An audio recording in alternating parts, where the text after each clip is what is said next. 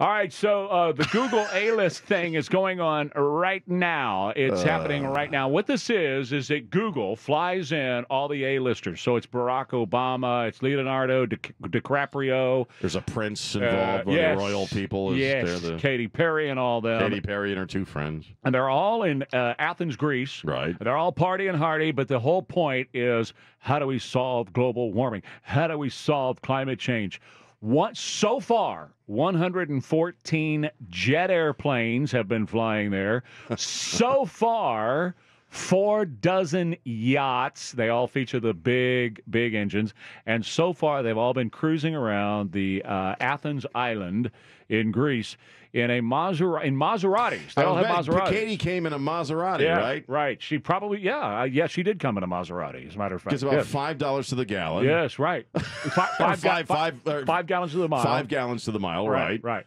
Uh, you know, but whenever you bring up the because these people live extraordinarily luxurious lives. DiCaprio's got a personal yacht, he's got personal jets, but when you criticize them on the hypocrisy of it, because they're staying at a at a Verdura Resorts, which is I guess a premier. Oh yeah, man. you It's know, big. It's, a big. big, uh, probably a bit of a. It's got a few golf courses. Probably a bit of a carbon footprint there. you know, if they're flying in Sting and Elton John to play for you, this is a big deal, right? This is a big deal. They bringing in some cruise line uh, folk singers. You know, these, these are Elton John is playing this gig, Sting. You know, and if you point out the hypocrisy, what's the first thing they say? Don't kill the messenger. Well, that's right. I'm using my celebrity Well, to spread the message. I, Duh. I remember years ago, man, uh, when Leonardo DiCaprio he, he owns a jet like the size of a 737, which is a Southwest Airlines jet. Okay, and I remember he went to one of these things somewhere in Central America or somewhere, and he rode on his own jet alone. There was a picture of him in the jet the size of a Southwest airline jet, sitting there alone, flying to a conference about global warming and climate and his change. deep concern for the planet and the and Mother Earth, who he actually made a documentary at one point, I believe, about uh, the awfulness of climate change. You know, he flies around in his own jet By himself. Well done, man. we'll follow your example.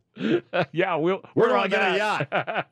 and I, you know what? I, you know, if people live that lifestyle because they've earned it and all that, I, I don't care about the lifestyle. I'm talking about the hypocrisy of telling you and me to get out of our our little old bitty cars, our little bitty crap cars. We got to get out of them because we're destroying the world. And here they are flying by themselves on jets to something like Yeah, that. y- you and I got to ride unicycles to Yes, work, okay? yes. But but DiCaprio because he's the message bearer, Right.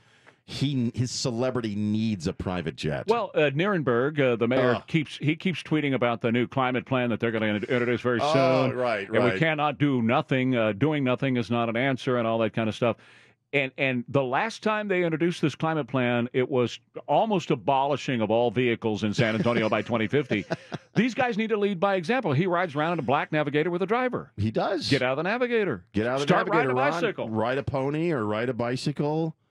You know, maybe a pogo stick. Something like that. Take a pogo stick to City Hall. We'll respect you more if you hop your ass on a pogo stick That's the down City problem with Hall. this. It's like Al Gore when he did the movie, man. He, you know, you, they showed pictures of his house, and his house had 20 air conditioner units. 20. Look, I've always pointed out the, the, the thing about Al Gore. He will say he first learned of this crisis when? Yeah, right. In the late 60s, early 70s. That's right.